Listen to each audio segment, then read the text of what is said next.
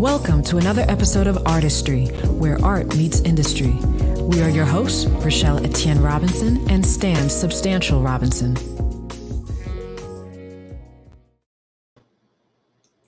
Peace, everyone, and Peace. welcome to another episode of ARTdustry, where art meets industry. I, we are your hosts, Rachelle Etienne Robinson, and this guy over here, Stan Substantial Robinson. Today, Mhm. we are so excited, as we are every day, but today's guest is a dear friend. She's an interdisciplinary artist. Her work consists of installations where she incorporates sculpture, uh, sound, and performance. Uh, she has lectured and exhibited extensively at MoMA, PS1 in New York, the Contemporary Art Museum in Houston, Texas, the Museum of Contemporary Art in Chicago, the African American Museum in Philadelphia, and the Institute of Contemporary Art in Los Angeles. She's also an associate professor at the School of the Art Institute of Chicago, and most recently, the recipient of the United States Artist Fellowship. Please welcome Maria Gaspar. Hi, everyone. Hi. Thank you for having me. It's such an honor to be part of your program. Thank Oh, you. Thank you for Thank you so Thank much. you for joining us. Yes, absolutely. So we want to get started because I, as all of us have, you know, this past year has been enlightening, heartbreaking, challenging, and any other type of adjective you would like to add. How are you, and how has your this last year been for you? Hmm. Um, yeah, it's it's certainly been a uh, uh, a challenging, um, but also affirmative year. I feel like um, you know I'm a I'm a new parent of a of a toddler, um, and you know managing being an artist, being a teacher, and being a parent was particularly difficult. Uh, this it still continues to be difficult, um, as as you know one cares for one's family, but also extended family, right? Um, uh, and also having children that are not you know able to get vaccinated yet. You know they're still kind of a vulnerable population. So I'm constantly you know. Uh, worried um, for my child's safety and just trying to find spaces to thrive and to feel um, joy, you know, amidst this time. Um, I have also I've been working at a, a place of detention the last ten years, and be, due to COVID, I have been unable to uh, go into the jail to continue my work, um, uh, given you know COVID. So that has also kind of changed things for me. I'm now developing a new project that works on the outside. I can tell you more about that later. Um, so my practice has changed a bit, and one of the questions that I've been thinking about a lot is how does one sustain a socially engaged practice or community-based practice uh, during social distancing, um, which is really challenging because often we're working so intimately with others, but when we can't work intimately uh, due to the pandemic, it becomes particularly difficult. Um, uh, so you know that's that's one end of things, but I also use the word you know affirmed, and you know given um, I think the conversation around you know state violence and um, given the conversations that that people have brought brought up around abolition or we've been talking about abolition, but I think it's become much more uh, common uh, within the U.S. I think there's uh, this affirmation that at least I feel that that that is the direction we need to go in, and that um, I'm, thinking a lot about what steps I can take within my practice or within my own being to work towards that. So that that feels affirming, even though it has been particularly difficult, you know, the last year and a half, especially for more vulnerable communities. So um, there's a lot on my mind, you know, there's a lot to um, that is still unfolding for me right now. Right. You know, we're going to talk, of course, we're going to delve a lot more into that um, regarding your practice. But I want us to take us back in time. Um, you were born and raised in a, a town called Little Village neighborhood in Chicago, in Chicago's West Side. What was Mhm. like, like growing up um, on the West Side of uh, Chicago in the 80s and 90s? Yeah, um, you know, Ch- Chicago is uh, such a um, vital city. You know, it, it's historically it's the um, it's sort of the foundation for a very strong kind of civil rights history. It also has an, an incredible cultural history of the mural movement and um, DIY artist spaces. Um, you know, cultural spaces that were, you know, uh, developed or um, founded by teachers and artists and just independent people. So it has such a rich history. Um, so growing up in Chicago uh, was profoundly, you know, important to my practice because it it really taught me early on the importance of art, but also um, to have a care for one's community. You know, I, I, I didn't see them as inseparable; they were always together, and I think. Um, even though my neighborhood at the time didn't have a lot of arts and culture in that that that area, uh, the area next to my community had some incredible resources that I was able to tap into.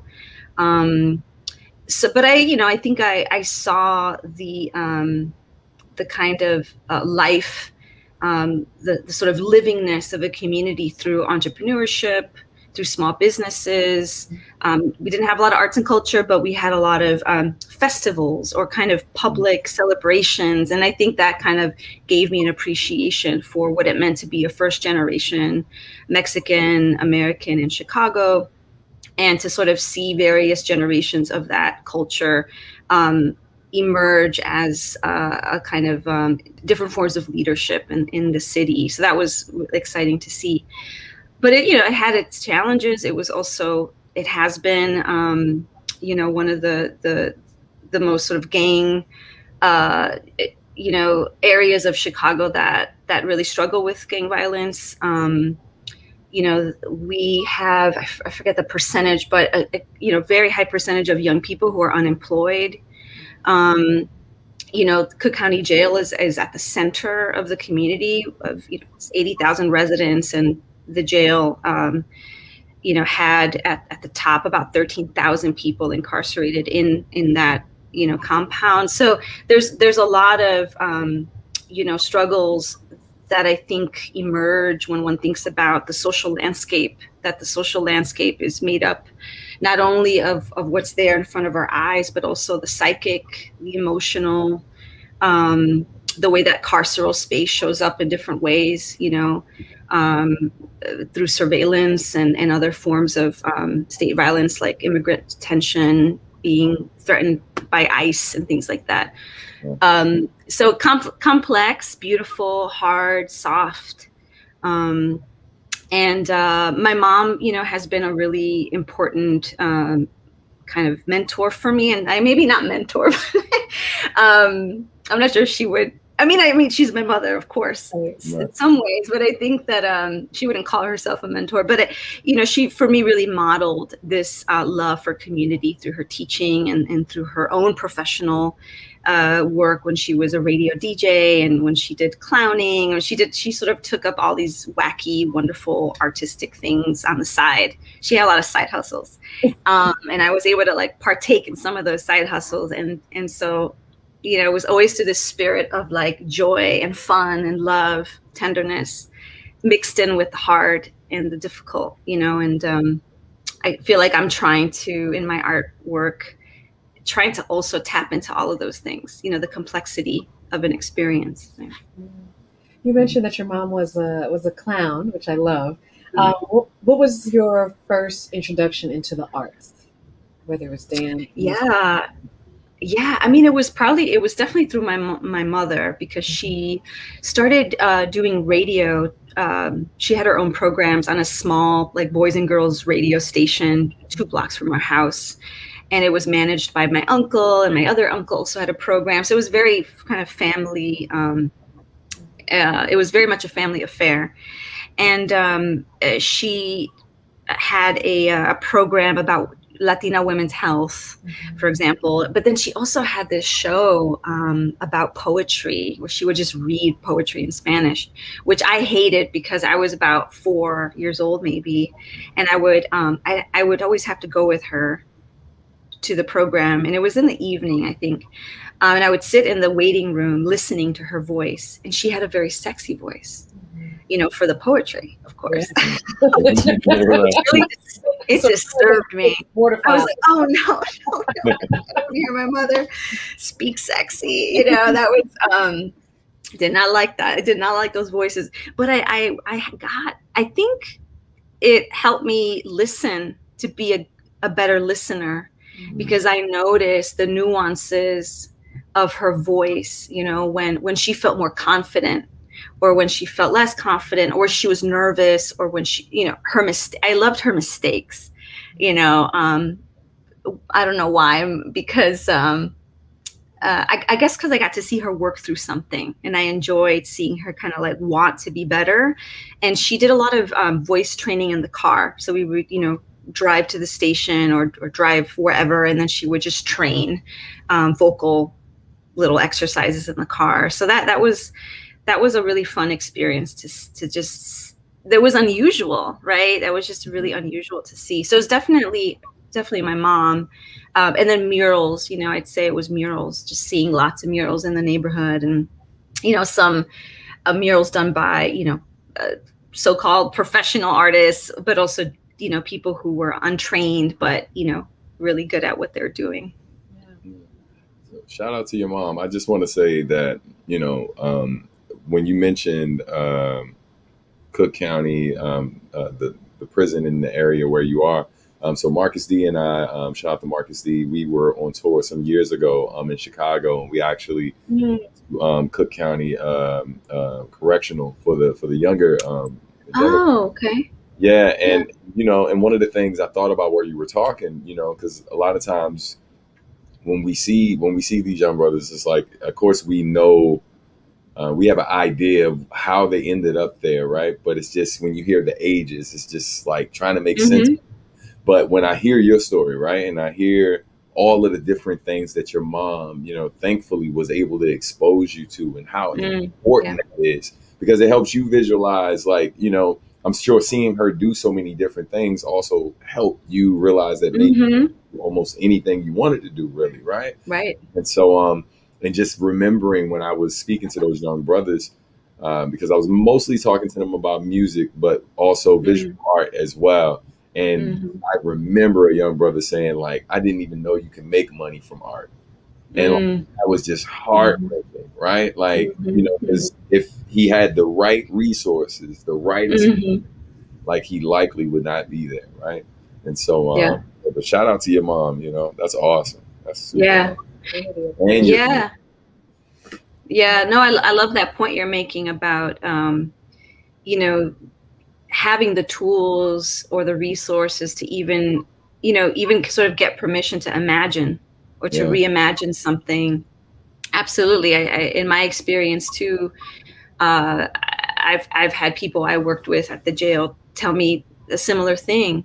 Um, uh, I remember uh, we were doing this project together. I was working with about 12 incarcerated men mostly. And, and uh, I showed them the work of Doris Salcedo, who's this, you know, really amazing artist from Colombia who's, who makes work about um, state violence, but it's so, it's so, um, it's so embedded in materiality. Like it's really lush. You know, she works with dry roses and other very potent materials, which she stitches and they were just blown away. I remember, uh, you know, a comment was like, you know, I didn't know you can make art with, you know, with those materials with old shoes. I didn't know you can make art with chairs, you know, and uh, and and there was there was these you know beautiful realizations about what's possible, um, and I think that's why art is so vital. You know, even if one doesn't necessarily want to pursue a career, but that creativity and, and art making and all of that is such an important part of our, uh, as as you know, Audre Lorde would say, it's it's um, poetry is not a luxury. You know, it, it's the it's the the vital essence of our lives, and so yeah, totally agree. You know, um, of course, you you studied um, art throughout school, went to a um, uh, specialized high school that had a very strong art program, which landed mm-hmm. you at Pratt Institute, where we all met. Um, yeah. Tell us about your experience at Pratt and, um, and what did you study at Pratt? Yeah, I studied painting, but I, I, I feel like um, I had, you know, but I guess maybe we, oh, maybe everyone has a complicated relationship to painting. You know, it's such an old traditional form. Um, I, I, knew this question would come up, and and um, I, I feel so grateful that I. To me, the best part of that experience was meeting people like you. Mm. Um, it was the the friendships and the community that we made. Because what what is kind of amazing about that time, at least for my maybe for my selective memory, mm-hmm. is what I remember the most uh, were spirit ciphers. Yeah. oh, wow. going to going to um, see Stan at perform somewhere, right? Rachelle's managing of the student union and all the programming that happened there. I mean, boom, boom, boom. You know, it was like well organized um, uh, situation there, um, and you know, bringing Slick Rick. I remember, yeah. I don't know who that was. Somebody brought Slick Rick to perform. Um, you know, uh, origination the yeah. black organization where you know there there was no latinx organization at that time so there were a lot of latinx people that were part of it but also a lot of black identifying latinx people yeah. uh, that were also part of it so you know that was such a beautiful special space yeah. um, and then you know soon after that um, I helped start Alianza, which was a Latino organization. And so to me, all of that organizing work yeah was maybe the most important part of that experience. And I think in some ways, I mean, I think a lot about that time that maybe it was a it was a response to um, there being a lack of of representation within the curriculum. You know, like my painting department did only talked about Clement Greenberg. Wow. You know, um, uh, you know, luckily I, I eventually met people who um, faculty who then uh, kind of had a more diverse, you know, uh, curriculum and and and you know, yeah, did did a lot of amazing stuff. Um, but it, to me, it was all of that um, the adjacent the adjacent mm-hmm. education that happened with being at Pratt, and it, you know, it was being in that neighborhood at that time, yeah. 1998 being there during 9-11 you know like it was just there was so much um yeah, it was so much. Mm-hmm. It was great times indeed. Mm-hmm. Um, you know, after graduation, you know, and of course after your studies, um, you have exhibited, you know, through, you've participated in group um, exhibits, solo shows, murals. Take us back to your first solo exhibition. Was it oblation of a parade? Was that your first one your first yeah yeah i would say that. That was probably the one of the most significant shows um, because it was at a major museum you know? I, I i had a you know i guess that would be it. Yeah yeah that was in 2009 so that was immediately after um no that's actually not true. Maybe my my first solo show was at a another um uh it was at a smaller artist run gallery, mm-hmm. which was which was a really beautiful experience too. Um, but the MCA show was significant because, yeah, it was you know the first museum show. Uh, at the time, the curator was really um, supportive. Uh, you know, she's still supportive, but she's no longer at the museum. But she's you know she was very supportive of of my work. Um, and I was able to experiment a bit. So I showed this um, piece. I, I, had made a smaller version of the sculpture um, where I was looking at public celebrations, particularly at like um, cultural celebrations and the way that uh, people communicate affirmations of one's, you know, culture, right? So I was looking at kind of this mix between, you know, Mexican and American culture, the kind of representations of that. Uh, but I was also really deep into studying brownness and i was mm-hmm. making a bunch of work about um, i was i did this series called brownouts. I started developing the series called disappearance suits shortly after where it was about opacity and you know brown kind of connecting brownness to uh, identity. Um, uh, what so when um, jose esteban munoz's book came out um, about brownness, which was you know earlier this year, was like, oh my god, this is this is exactly you know um, feeling of of brown, right? And and thinking about brownness as this um, uh, as this this sort of uh, space of both. It's like trauma and joy of um, or of potential. You know, it's like this this mix mixture of of things um, that's non monolithic. Um, so anyway, so that show was really important. I also collaborated um, with a bunch of performers. I was also beginning to do a lot of performance work mm-hmm. at that time, and um, I was working on a mural um, at this organization that um, uh, in, in in my neighborhood that that you know was really kind of revolutionary. They uh, had this history of talking about you know uh, safe sex during the HIV/AIDS crisis. Mm-hmm. And we're doing really incredible work in a you know first second generation mexican community of mostly catholics you know they were passing out condoms when i was a kid and you know doing things like that that were really like controversial you know at that time. And um, I, I did a mural for them that same year and, and i invited some of the young people i was working with to perform with me. And they were you know queer um, um, identifying young, young people people who were just interested and open to, to trying something new and so it was this tracy Pollard, who's mm-hmm. um, a good friend of ours who went to Pratt, um, who, you know, she was dancing a ton, right? Also kind of mm-hmm. professionally around this as, at the same time doing her design work. She flew in, she also performed as part of the, So it was this really beautiful group of all different kinds of people uh, who performed and, and they performed as this collective brown body that moved through the museum space, kind of creating uh, what I thought of as a kind of um, brown space. Mm-hmm. Um, and the performance took place during uh, the museum's sort of first Fridays event, which was basically mm-hmm. like a club, you know, it was like the museum turned club. Um, and so they they really demarcated space, really occupied space with their bodies, and people had to move around them. So that was all very intentional, and, and it was um, it was a yeah, it was a great space to test out some of these ideas I was beginning to kind of you know uh, develop. That's awesome. You know, um, your work has, you know, has obviously evolved and has developed over the years. Um, so much so that, you, like you said, you've incorporated performance, you incorporate mm-hmm. sculpture. Um, in 2012, you created a site responsive art project that involved the community. Much of your work does include, you know, stakeholders and of the mm-hmm. of the community, where it was called 96 Acres Project, which you mentioned earlier. Mm-hmm. Um, tell us about that. How did that all come come about? Yeah, sure.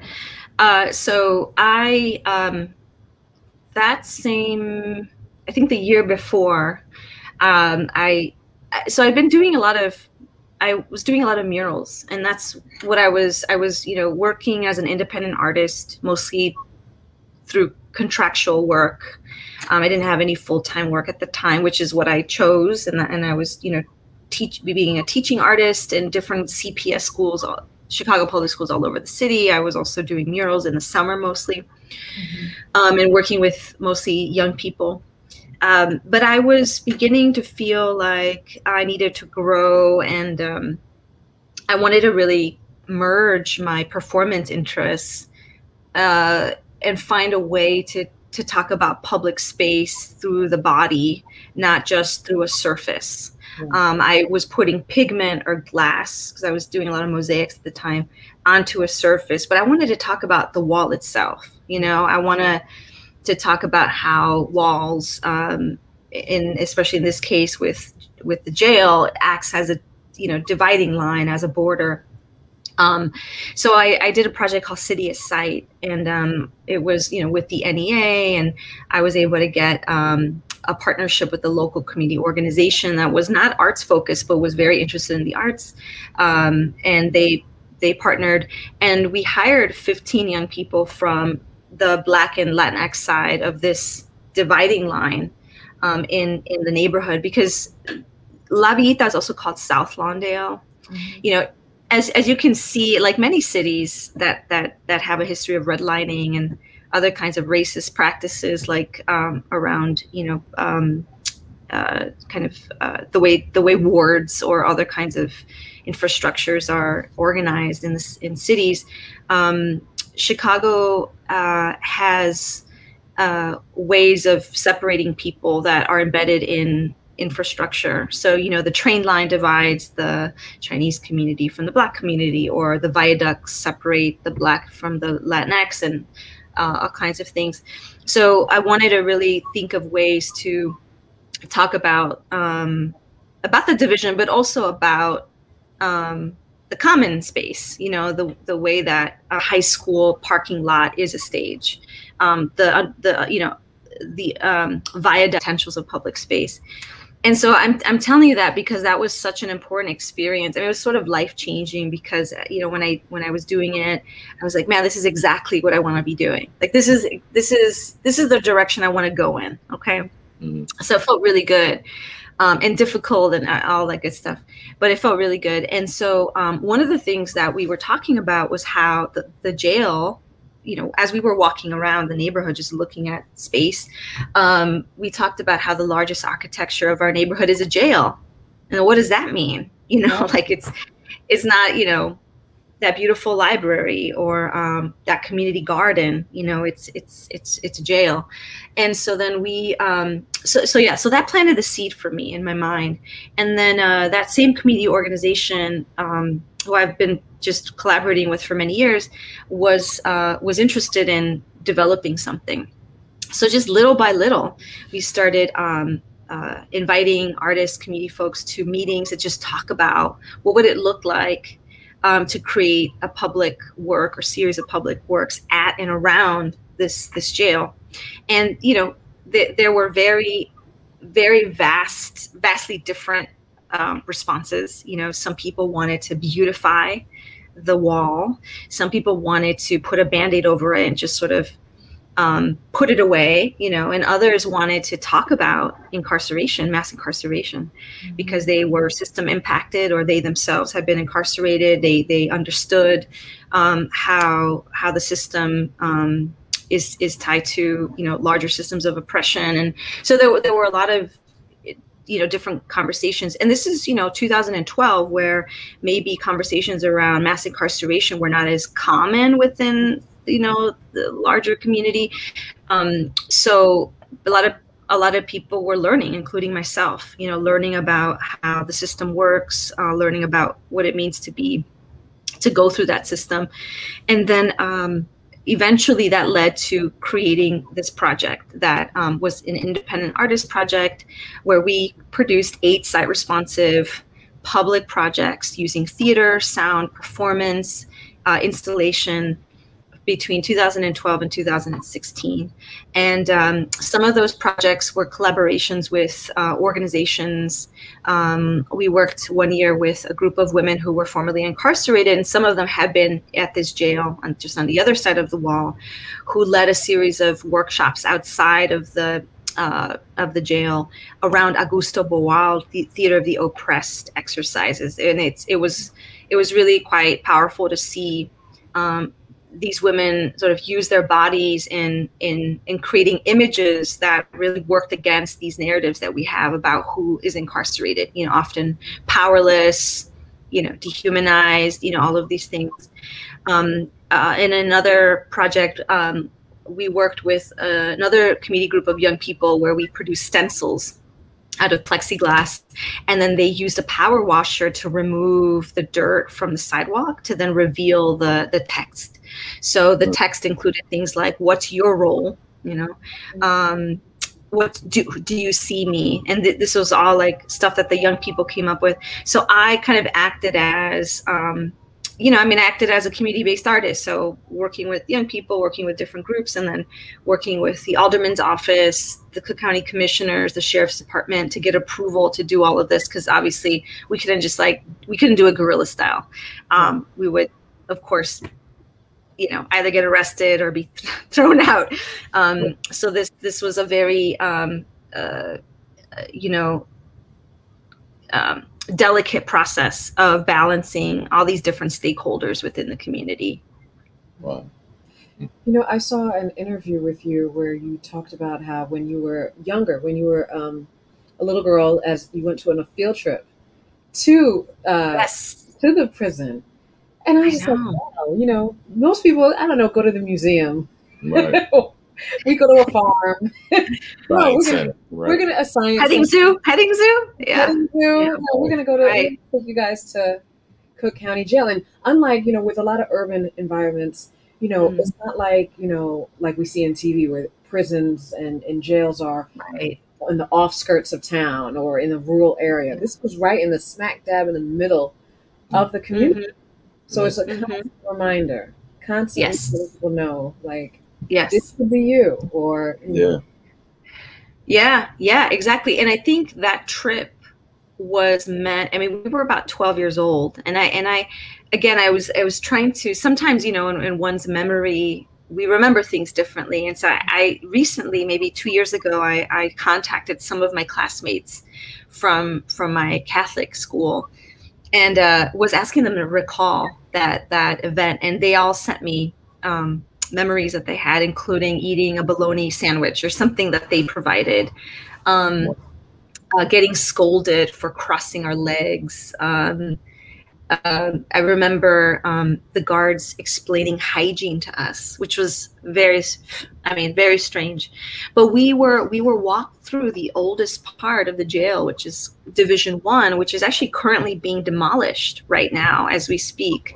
Um, and we and there were men young men older men young men locked up they were in those cages and we walked through those walkways um, and uh, I, what i remember the most was was really thinking that the men that were in there looked like people i knew they looked like my brother who was um, maybe at the time was probably around 20 almost 30 years old you know um, and uh, I also remember my mostly white teachers being really scared, um, just really scared running through. You know, I, it, it was very confusing. I mean, I didn't know there was no. I mean, it was clearly a scared straight tactic. I Right. don't remember if they like gave our parents something to sign. I mean, I don't know what ha- what went down, um, and my parents will not remember probably. But I, I I think back to that moment a lot, and I've gone through there several times, right? Because I I've taught there, and I've also organized my own tours there, inviting community members to come to see, um, because it's different. Maybe sometimes if you haven't been in there, granted, some people have, and it's triggering to go in there, of course, for them. Um, but I think if more people understood what it actually looks like and how it uh, how that system behaves, we would have a different um, perspective on how we deal with um, harm and what other alternatives there could be to dealing with harm. Um, so, in some ways, I think, well, the teachers or the school thought it would keep us away from the jail. It sort of did the opposite for me, but from a different perspective, right? That I, I, I want to work with that community and I, I want to continue working um, to, to, to do these projects that I feel have been, at least for me, very transformative and um, imp- important, you know. Yeah, well, um, I wanted to shift gears a bit, you know, like because you talk a lot about like the community work you've done and the art that you've done. Mhm. But, um, Mhm. but I want to talk about uh, underappreciated art form, and that's motherhood. So congratulations to you. we know that you recently you. became the mom of a beautiful baby boy, and so like, you know, um, how has being a parent changed the way you create? Mm. Well, I feel like um, I'm in the, I'm still at the beginning stages. You know, he's only two and a half, so I feel like um, every day is different. I mean, I, that probably is the same with you all, right? I mean, I don't know. You have it almost a teenager, so maybe it's, I don't know, maybe I don't know what it's like. Yeah. Um, but uh, every day is different. So I guess what it what is it has helped me is is is think about flexibility Mm. like you just have to stay flexible you have to stay adaptable which i think being an a, an artist teach you know you learn that early on you know i think um you know i mean i teach also and i tell my students like gain a lot of skills just have a lot of skills because um you know if if one thing you know everything is at a different pace so maybe um m- making objects is on a slower pace at that moment. Well then pick up on the research or or or you know work on this other thing right? Um, that that staying kind of adaptable is important. It's almost like a survival skill and i feel like that's the same for parenting so far. Um, it's just yeah and also kind of like um, trying to laugh more you know uh, my husband is also in the creative field. He he does architecture and he writes about architecture. And so you know we're we're we're both um, involved in that kind of creative space. Um, and you know we're often like reminding ourselves like okay we got to like take everything with a grain of salt. You know we just got to like laugh about this sometimes. Um, and so I think same with art making is you know when you're in the studio or when you're out and working with community, um, there is no one way, and also somebody might be having a bad day or a great day or something might just uh, fall through. You have to then sort of figure out another way um, to to make it happen, or maybe just to change gears altogether. It's just not working. So let's try this other thing. Um, so so that has really helped me kind of think about that. I also feel like um, it's helped me. I've been thinking so much about intimacy. You know, I mentioned that before, um, and I think it has something to do with COVID, parent, being a young parent, mostly during a COVID time, mm-hmm. um, and thinking about the value of of of closeness, of touch. Um, and I think about touch a lot in relationship to to space and to community and to the wall and to people um, being able to hold each other you know um, what it means to, to touch a wall and to change it maybe or to think you can change it maybe or to put it out there into the universe. Um, and to to just to hold my child you know and to, to think about that um, I know you. I know you all were just talking about how one of your kids doesn't doesn't want to be. Yeah. Oh no, they want to. They want to be held. No, they yeah. want to be. She, right, right, always right. like if you're if you're not with her. Yeah, if, I, she sits next to me at the dinner table, and while I'm eating, she like if she's finished with her, she will hook my arm. Yeah. So it's really hard for me to eat because she's. Oh my god! Yeah, she loves. That is so sweet. Loves physical contact. Close to her, she she walks over to you and she constantly has a she has to touch you. Mm-hmm. yeah. I want to I want to talk to her. I bet she's got some great insights. Um, yeah, yeah. My son is a little bit more like, mm, yeah.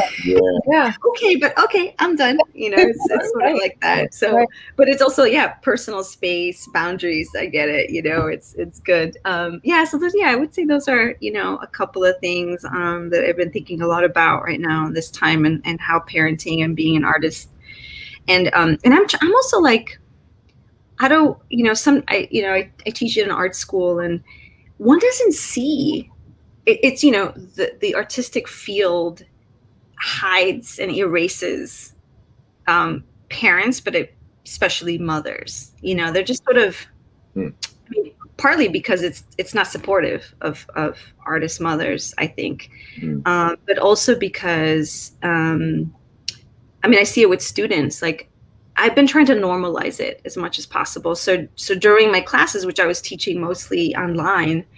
I was like, "Hey, look who's here! you know, here's my my child." Or let me, you know, uh, you might you might hear my toddler. You know that it's just trying to normalize it. And I guess we didn't have a choice. You know, was everything was sort of merging together. Yeah. Um, but in some ways, I feel like in the past I was able, or maybe one was able to almost sort of separate mm-hmm. one's professional life with one's parenting life. Mm-hmm. And I think COVID and and all of this just you know everything is it's like the whole package. And I, I i think that's important to hold on to that it that we shouldn't hide things away. We shouldn't be ashamed um because i think the the field um uh does sort of uh, make you feel shame about it. And um and that's wrong right?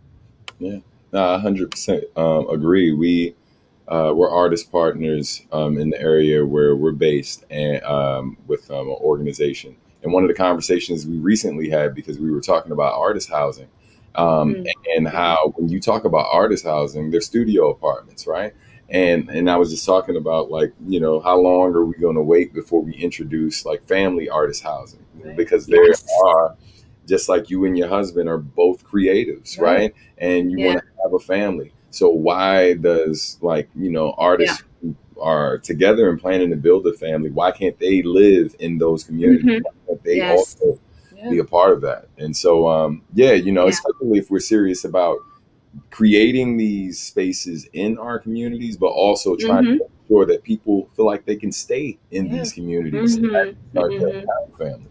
You know, Yeah, yeah, yeah, absolutely. And I think I love that. That for sure. I think they're thinking of the studio apartment. I mean, that's a particular image we have of the artist. That's the, the solo artist that's working by themselves all day. And that's not. There's so many ways of being an artist. And I mean, I've also been interested in artist residencies who are family friendly. You know, and I I, I don't know that many. There's some. Um, you know. Uh, uh, I didn't have my son at the, I think I was pregnant at the time, but I was at a, at a at a residency in Florida, and that one, you know, I think like one time a year or something, the artists with children could actually, you know, bring their entire family and even have, you know, daycare, which is like, holy cow, that would be amazing. Right? Um, yeah, yeah, yeah. The the Rauschenberg residency Mm. um, they would provide childcare too and, and it's like that's amazing like we should be thinking about that the whole person if we really want them to be sustainable right to keep doing that work Absolutely, Yeah. absolutely. I, I just want to point out, you know, to anyone listening, if uh, if this becomes a thing within the next few years, You years, heard it here you first. heard it here first. I'm sure to credit us, and Maria, you know, for for making this happen. You are welcome. You are welcome. No, I, I, I 100% agree. I mean, we, we talk about that being very much involved in the artist community. Mhm. Um, and, you know, we talk about affordability and what does affordability look like Mhm. and, um, and maintaining, you know, the culture because, you know, a, a lot of cities across the country are going through gentrification and rezoning and like that. And you Mm. know, we talk about artists and the importance of artists when it's convenient, when it, you know, we can get money, Mm, right, some for a on, particular man. project. yeah. And so, Yeah. not with maintaining. I mean, how we look at income, Mm. can go on and on. But it's like, yeah. you know, when we think about, yes, you're a working artist, you're generating income, but it may not be, Mhm. you know, it's not month to month. It's not a, a paycheck Right. every two weeks type of thing. Yeah. Right. right A lot of conversations to, um, mm-hmm. Mm-hmm. Yeah, Yeah. for sure. you know, yeah when we talk about, um, for instance, in, in your past, with your past exhibitions, like Brown Brilliance, um, Darkness Matter that you had, where you look at historical narratives and cultural heritage. This past year, okay, or heck, within the last six months, so we've had the election of 2020, we've had the January 6th insurrection, we've had the pandemic, we've had, you know, um, violence in the streets, we've had protests, um, history being made, as well as people challenging Mhm. history. Hmm. Um, what do you think is the role of the artist or art activists today during this time? Artifice. Or artivists? Right.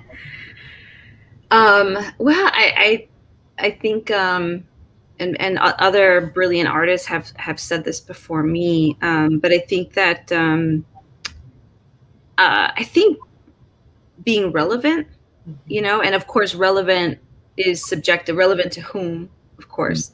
Right. Um, but I think that uh, uh, being, you know, being being critical is is I think one of the greatest assets of being an artist. You know that most of the artists that I've always looked up to or consider to be uh, mentors or, or people that I, I seek information from are people that are lending a critical eye to something. Mhm. Um, you know, and I think that folks like Nina Simone or or you know other artists have talked about artists being, uh, you know, they're bearing witness to the world around them, and that is really important. Um, and and what it means to be translating these these these traumas and um, uh, challenges in this time means being bold and but also being um, nuanced you know that that to be complex that it's not i mean I've, I've been mostly interested in you know what does it mean to translate this moment or transcribe it through through visual art or, th- or through other forms of art um, that represent not a generic picture, but something that um, is really layered and uh, meaningful, and that maybe we don't necessarily have a resolve, but that is pointing to redirecting our our assumptions about something. Mm-hmm. And I, and I think that that's really important. At least that's that's important for me to do.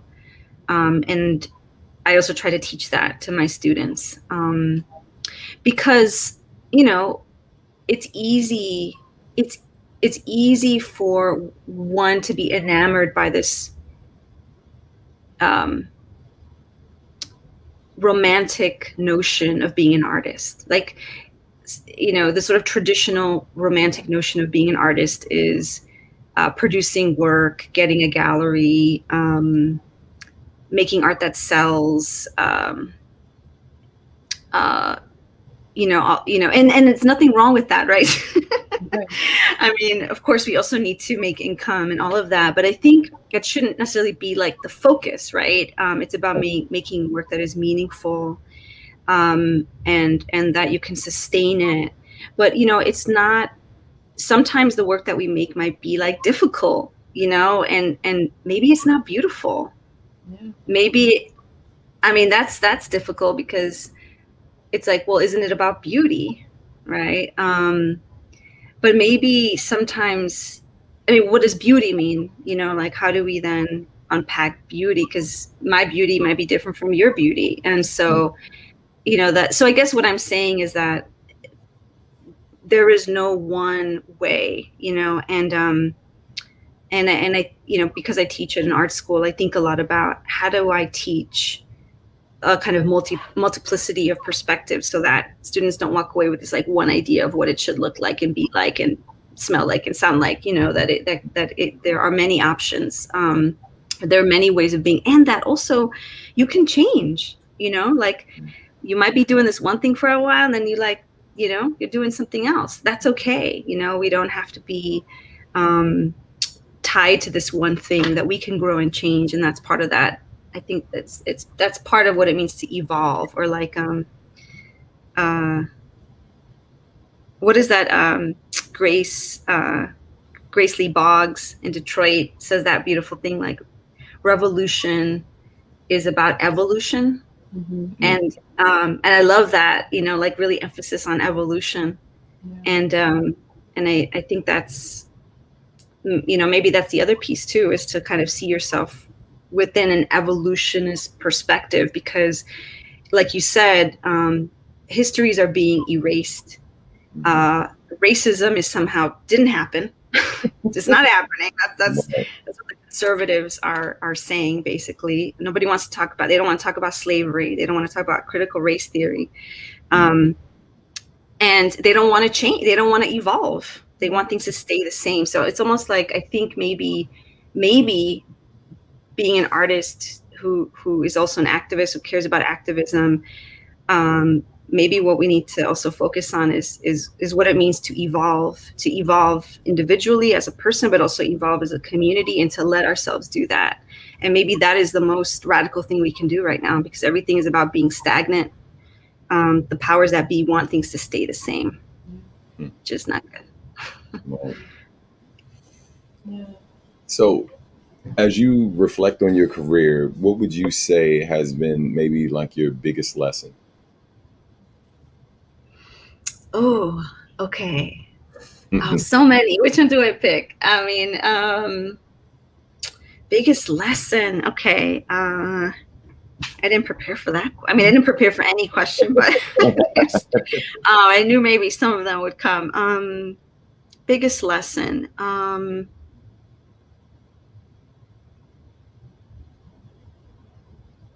I guess uh, one of them would be um, kind of what I said about parenting, which is, you know, sometimes like the work that I do is uh, very intense, you know.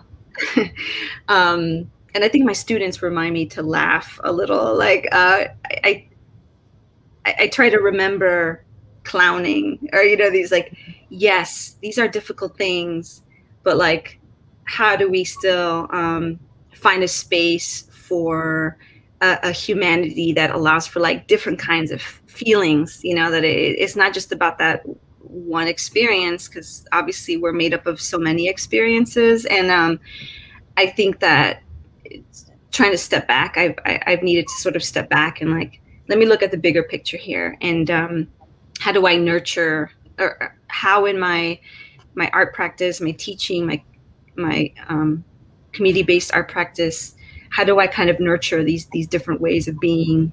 Um, uh, because I don't want to be prescriptive, you know. I don't want to be um, uh, telling people what to make. You know that that it's about kind of creating a space that feels nurturing and it can be meaningful and transformative to people. Um, and sometimes that looks like you know workshopping different ideas or creating a space where we can like you know become experimental or make a space for experimentation. Um, so i think that is one of the greatest lessons. It feels like a life lesson i think in many ways. Um, you know and uh, and slowness. Yeah. Just mm. take just take it slow. Like mm. i mean that's why i love the intro that that the music that you have. I assume you made you made you all made it. Yeah, yeah. you made it.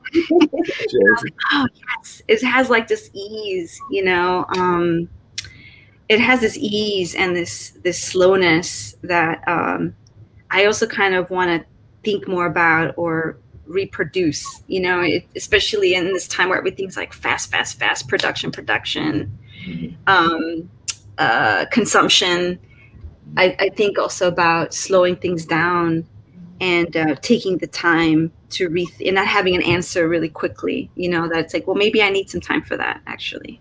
Might take two weeks or more. You know but then that's you know in some cases that won't work but in some in many cases it's actually okay you know so yeah. Yeah. Well, that's great. You know um we're about to wrap up but i wanted to mm-hmm. um, reflect on you know as as you are an artist, as you mentioned, an activist, an educator, if you had to choose just one of those mm-hmm. for the rest of your life, which one would you choose? No pressure. No pressure. yeah, no, I mean, I, I, artist. Mm-hmm. Yeah, artist. I think that, um, yeah, I mean, I don't, yes, you're right. I don't think we have to make a, a, a choice and of course, but, um, to me that that is my home that is my home because i mean also sometimes you know to be honest um, i know activists who put their bodies on the line mm-hmm. in ways that i don't do it in that same way you know um, uh, and so i sometimes take a step back from that because i think you know they're really doing um, uh, this work that is um, yeah that it that that it is at a different level you know in some ways. Um, the risk is greater. The right. risk is greater. So i i like to you know respect that and understand that and i'm okay with that. You know i've I, have i have not always been okay. I, i've struggled with that actually quite a bit. But i'm i'm okay with that. I i know that there's a certain certain kind of thing that i do that and i want to flourish in that. And if i can participate if I can participate or contribute to those conversations, that that is that is wonderful. And but I do think that uh, the way I define an artist is is is somebody that is going against the grain. So in some ways, maybe it's it's not necessarily activism, um, but but I think it is. Um, you know, it it is about a kind of taking action. Um, working against some kind of system of power in many ways. And um and that that's exciting to me you know and i and i and i think that everybody can do their part you know like even if you're um i don't know what is the opposite of being an artist? I don't know being a financial manager? I don't know. There's probably some artists out there that are like i'm a financial manager. Right. There's an what are you talking about? Right. yeah I'm my own financial manager, right? Being an artist is also just doing your own bookkeeping, and so yeah. Right. Um, I'm making a generalization, maybe, but you know, I think uh, everybody can kind of play a role in that, right? Everybody can can um, work for change in, in in whatever field that they're in. Well, I'm excited. I'm excited to see, you know, because one thing about, unfortunately, one thing about trauma and hard times and challenging times, it does make for great art. And yes. so mm-hmm. I'm very mm-hmm. um, inspired and, and look forward to seeing, you know, in the next year or so, what people have been doing while they've been mm-hmm. in home at home or in the studio or, or in the streets. Or in the right. streets. Right. Right. Right. That's yeah. that's going to be because there's a lot of content, yeah. Lots yeah. work with. There's yeah. plenty to work with, and so I'm excited to see what you and mm-hmm. other other artists are doing and developing, and what we, you know, um, mm-hmm. come up with. yeah, so everybody's cooking. Everybody's cooking, right? yeah. Um, please let us know what I know. We mentioned earlier that you recently are a recipient of the United States Artist mm. Fellowship. What yeah. other things um, that you have in store? What's going on? What's on your calendar? Yeah, yeah. Okay. Um, well, yeah, that that was a, a an incredible honor. You know, I, for for other artists out there that are you know sending in applications all the time, as as I am too. Um, you know, was, that was not my first try. So mm-hmm. several applications later. Um, so, but it, you know, it's an incredible honor to be part of that community, and the work that they're doing is is really amazing. Um, but I'm so I'm, right now I'm working on a couple of things. Um, I am recording the demolition of of the Division One uh, portion of the Cook County Jail, um, and I've been thinking a lot about. Uh, uh, you know the word abolition and how abolition shows up through material Mm-hmm. And um, it, it, was very much inspired by the work of um, uh, some folks um, over at UC Santa Cruz who, who did a series of um, of conversations. Um, Gina Dent, um, Angela Davis, uh, uh, uh, Rachel Nelson, um, and others who organized a series of conversations called Visualizing Abolition. Mm-hmm. And it was wow, it was amazing, and it was like bringing scholars and artists together to talk about like what does it look like visually and so I've been thinking so much about that through, but not through material. Because you know, I was talking about touch. I want to go back to to things that I can touch or I can hold. Um, so I'm thinking about how abolition shows up through something I can hold, um, and how the, the, the the demolition of the jail is something that is disassembling, that is getting deconstructed, that is disappearing. Um, of course, what that's working towards is is the question mark, um, because as we know, um, jails and jails are also you know putting more people on electronic monitoring.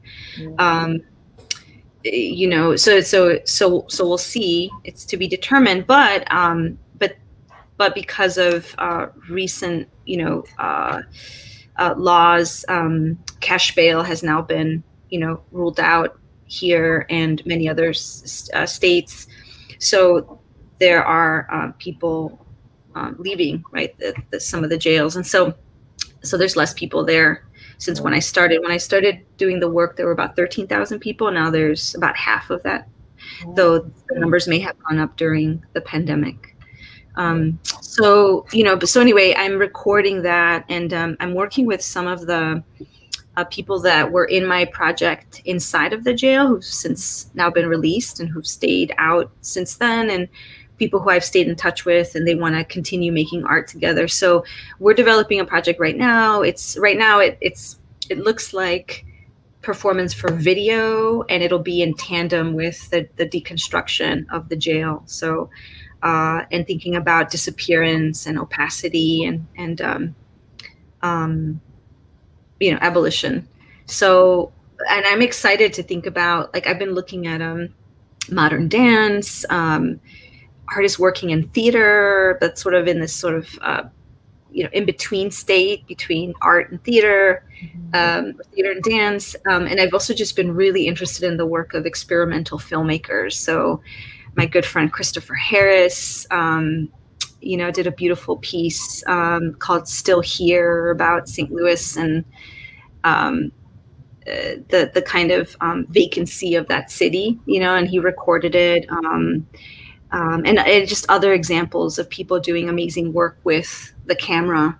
And so I'm excited to think about this this medium that that is slightly newer for me. You know, I've been working more like hands-on, big production, but I mm-hmm. kind of want to work more intimately, smaller scale with less people to make something, you know, just as powerful. I hope so. This will be probably the next year and, and a half or so. So I'll, I'll keep you. Uh, yeah, attuned was so love look, to look forward to see what you do next. Yeah, yeah for sure. Well, this, is, this has been wonderful. Thank yeah. you so so, so much for taking your time you, yeah. and catching up with you and all that you've been doing. Of course, we follow you on Instagram and, and your social media, and, and so rooting for you. Yes. So you do great work. Um, mm-hmm. Um, we are so, like we said, looking forward to seeing what you do next. So Absolutely. thank you. Thank, thank you thank you so much for um, creating this platform and for all the opportunities you're giving to artists to also just be in communication with one another and to talk about things that you know we don't always have the chance to share you know um, everybody's also so busy so this is such a great platform to be able to share information and one story so thank you for everything you do and i'm so glad that we've stayed in touch all these years yeah. this, this is a joy this is our, our baby out of the mm-hmm. pandemic um, we mm-hmm. you know as our t-shirt my t-shirt says yeah i love it and it's just um, you know it's just you know it was a great way for us to just catch up with mm-hmm. folks who physically couldn't see them yeah. And you know, it's funny how we went to school together. You know, we see people, we hang out, but we don't necessarily know their creative journey and their story. And so mm-hmm. we mm-hmm. this platform to use that to learn more about you know our folks. Yeah. You know, we it's we say all the time we know. Oh, yeah, I know that person, but we don't. How much do we really know? Yeah. Yeah. And, and, a lot of times folks only really get to see the destination and not the journey. So like mm-hmm. mm-hmm. allows like folks to really kind of show them how they got mm-hmm. from one point to another. Um, and as they keep finding new destinations along the path, right? So like, you know, we appreciate folks like you who make the time and, and hopefully, you know, the people listening find some inspiration in your story. Thank you. Thank you. Thank you so much. Yeah. Sending you a big virtual hug. Yes. we receive that. Yes, indeed. So hold tight. We're gonna close out the show. But for those of you again, okay. if you enjoyed this this episode, please make sure to like and share and the you know make sure you subscribe as make well. Sure subscribe below. Yeah, because more interviews are coming, and uh, and of course we we can't leave without plugging the fact that um, we did release a children's book uh, called She Sees. That's available now. So for those of you who have little ones or have little ones in the family, someone else's kids that you get to give back, um, feel free to check out the book. Um, it's uh, a labor of love that was uh, written by me, edited by Rachelle, and illustrated by Miera, uh, Miera Luna Bunny Nelson. So um, that is available now. But on that note, we got to get out of here.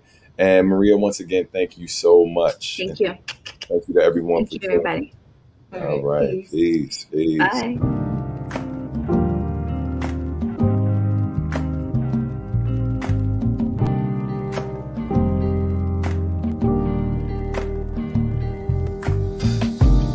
Thanks for listening to ARTdustry, where art meets industry. This podcast has been brought to you by Substantial Art and Music. For more information, please visit www.subartmusic.com. You can also follow us on social media at Sub Art Music. We'll see you soon. We'll talk to you soon. Peace.